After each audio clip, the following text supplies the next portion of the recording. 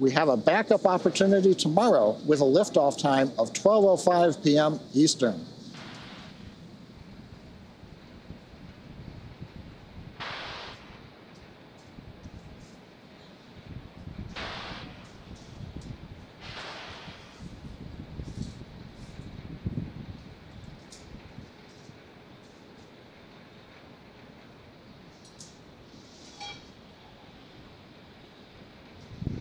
Stage 2 LOX load closed out.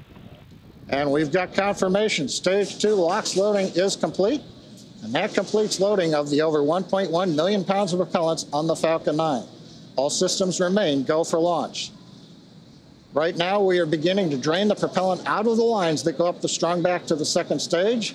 And that's creating the large white cloud you see around the strongback. Pressure from that ultra cold LOX line is vented overboard, and it meets up with the warm, moist Florida air. Now our next event will be startup called out at T minus one minute. At that point, the first and second stage computers on Falcon 9 are executing stored programs to prepare the rocket for flight, leading to ignition of the Merlin engines at T minus two seconds and liftoff at T zero.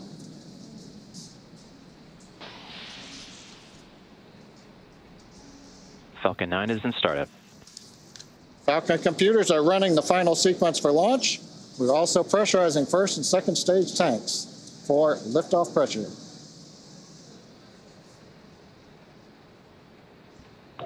The MD is go for launch. We've heard the call out. The Space Force mission director is go for launch. T minus 33 seconds and counting. All systems go for launch. T 30 seconds. Let's listen into terminal count and watch as Falcon 9 transports the U.S. Space Force's GPS 3 Space Vehicle number 5 satellite into orbit.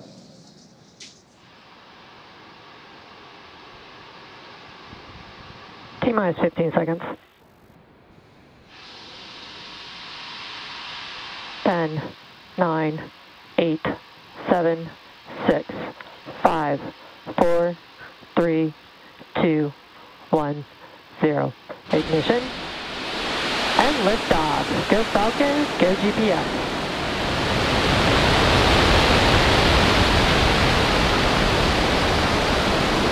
Vehicle is pitching downrange. Stage 1 chamber pressures are nominal.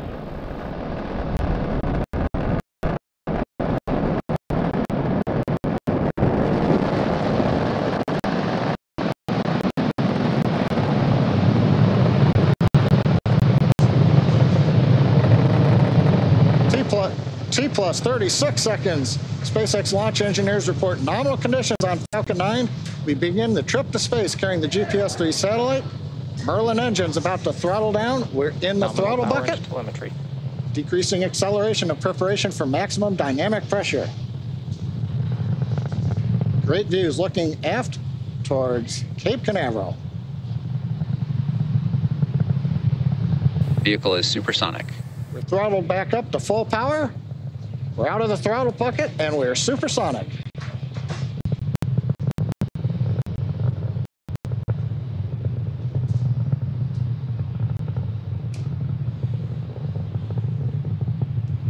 Now from here on, even though velocity is rapidly increasing, the atmospheric density is decreasing. That's resulting on less loads on the Falcon 9. You heard the call through next so the loads are now decreasing on the launch vehicle.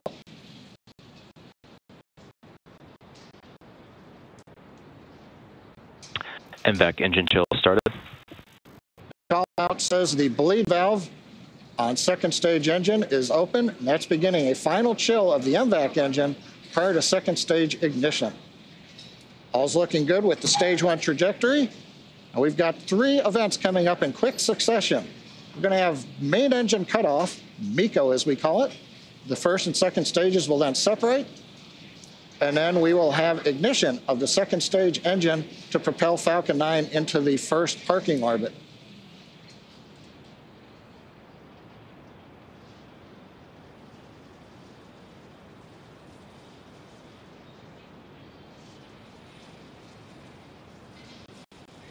Beginning to throttle down the first stage engines to hold 4G constant acceleration. Coming on main engine cutoff. MECO. Stage separation confirmed.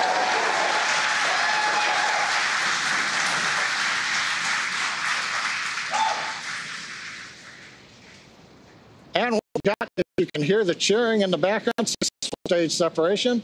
Second stage is now under power of the single barrel engine.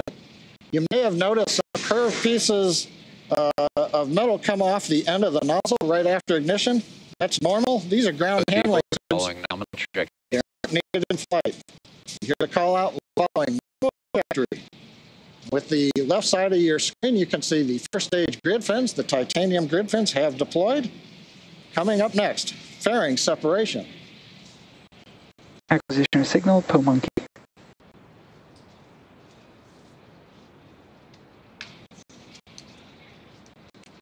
Fairing separation. From the second stage camera showing successful fairing deploy as Falcon 9 is passing through 110 kilometers altitude. Now we will be to retrieve these new fairing halves with the help of our contracted recovery vessel, HOS Briarwood.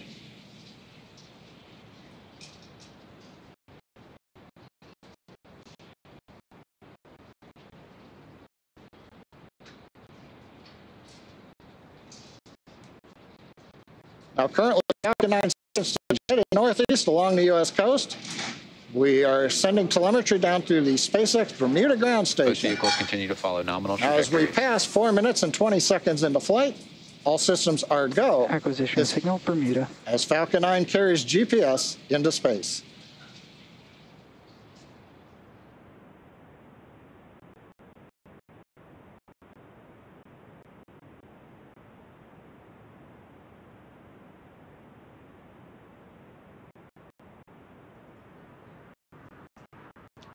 It's T plus four minutes and 45 seconds into today's mission, and we're currently in the first of two planned MVAC burns for satellite deployment.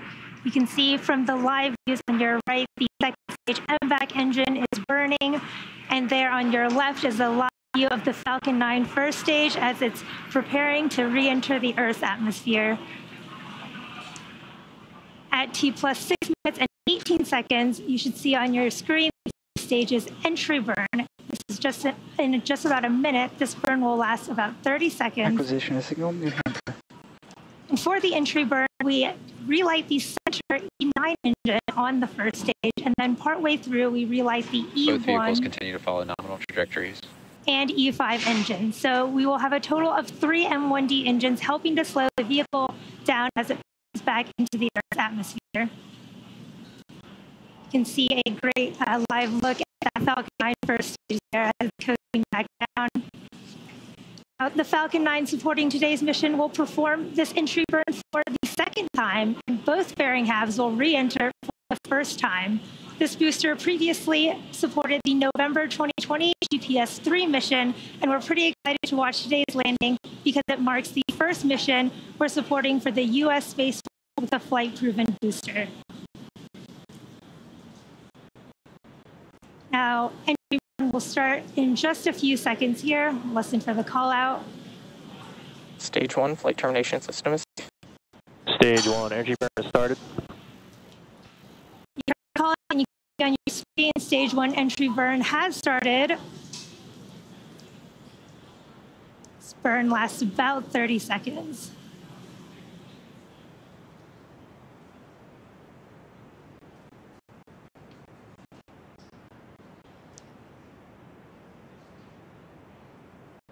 Stage one, entry burn shut. We did have a successful stage one entry burn there. And now while Falcon 9 Both makes vehicles continue to follow nominal trajectories. while Falcon 9 makes its way back to Earth, you may notice that there are different soot markings, soot markings on the outer covering of the rocket. You can maybe just see them on your screen on the left there. Now, if you've ever wondered how these markings are formed, the soot is generated when the carbon-based rocket-grade kerosene, or RP-1, burns. And since our reentry occurs engines first, the booster flies through its own plume, which deposits the soot on the rocket there. Now, coming up next will be our landing burn, which will be at T plus eight minutes and seven seconds. This will also last about 30 seconds, and it will uh, hopefully land our first stage on our drone ship just instructions Stage one, transonic. off the Atlantic coast. You heard the call out that stage one is now transonic. Stage two has entered terminal guidance. Now, one second after the start of the landing burn, we will actually have second engine cutoff on Stage two flight termination system is safe. the second stage on the right.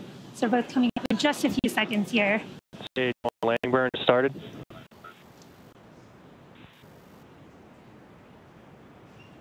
Can see that stage one entry burn, Seco la- 1. landing burn.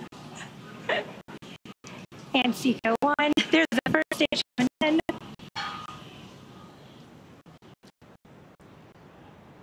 Landing legs are deployed. Nominal parking orbit.